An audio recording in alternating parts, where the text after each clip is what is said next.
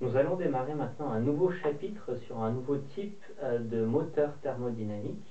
Alors comme les autres moteurs thermodynamiques, c'est encore un moteur qui est basé sur le fait euh, de comprimer un fluide, puis de le chauffer, puis de le détendre.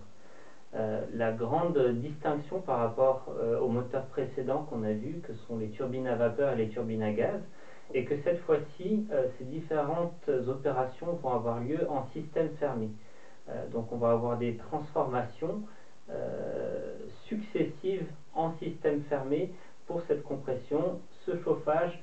euh, et cette détente. Et donc l'état du fluide, les différents états du fluide vont correspondre à des états successifs dans le temps du fluide et pas des états en fonction des endroits à l'endroit où on va se trouver dans la machine. Donc par opposition aux machines à flux continu, euh, ces moteurs sont donc des euh, moteurs qu'on appelle alternatifs, étant donné qu'on va avoir un cycle avec les différentes euh, opérations qui vont se passer successivement et se, répéter une fois que le cycle précédent est terminé. Ce sont des moteurs alternatifs à combustion interne parce que tous les types de moteurs qui rentrent dans cette catégorie utilisent une combustion interne euh, c'est-à-dire avec un mélange de comburant et de combustible, euh, dont la combustion va apporter la chaleur pour cette phase de chauffage du fluide, euh, ce qui implique nécessairement que technologiquement, on va devoir fonctionner avec des cycles ouverts, c'est-à-dire qu'on va faire rentrer du comburant frais avec du combustible, et ce qui va sortir du moteur sera donc de la fumée. Alors, la très grande majorité des moteurs alternatifs à combustion interne euh, sont basés sur le fonctionnement d'un système euh, cylindre-piston. Alors je vais d'abord euh, décrire un petit peu ces systèmes cylindre-piston, sachant que vous avez dans le polycopier tout le vocabulaire en anglais, et ici je vais présenter un petit peu plus le vocabulaire en français pour ce type de système. Alors dans ce système, nous avons un cylindre creux, creusé, dans lequel va se déplacer un piston. Donc on aura un mouvement euh, sinusoïdal euh, du piston à l'intérieur du cylindre qui sera euh, transformé en mouvement de rotation sur un arbre par l'intermédiaire d'un système avec une bielle ou une biellette et un vilebrequin. Donc un vilebrequin, c'est un axe qui comporte des excentriques et donc la bielle est attachée sur un axe euh, différent de l'axe de rotation euh, du vilebrequin, ce qui permet d'avoir euh,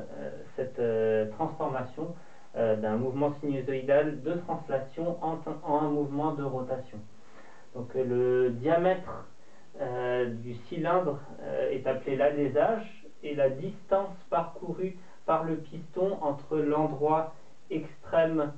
haut, c'est-à-dire quand la euh, tâche de la bielle va se retrouver euh, en haut, à la verticale euh, du, point de rotation,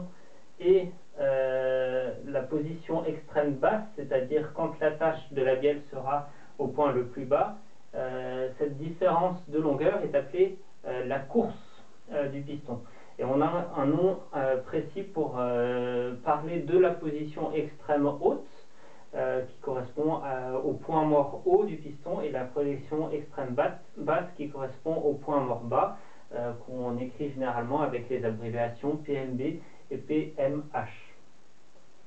Sur la partie supérieure euh, du cylindre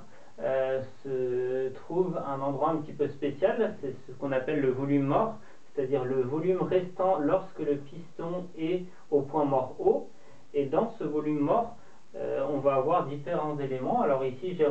représenté euh, des euh, soupapes. Alors on a des soupapes qui servent à l'admission du fluide, ce qu'on appelle les soupapes d'admission, et on a des soupapes qui servent à l'échappement des fumées, ce qu'on appelle les soupapes d'échappement. Et on a aussi d'autres éléments qui sont rajoutés à cet endroit-là, soit des bougies d'allumage, soit des injecteurs, soit par exemple des bougies de préchauffage différents éléments peuvent être rajoutés dans le volume mort sur la partie haute euh, du cylindre. Enfin, ce qu'on appelle la cylindrée, alors ici pour un seul cylindre, correspond au volume euh, balayé par le piston lors de sa course, c'est-à-dire la course multipliée par pi fois le diamètre d'alésage au carré divisé par 4. donc ce volume balayé est ce qu'on appelle le cylindre, et quand on parle du cylindre d'un moteur,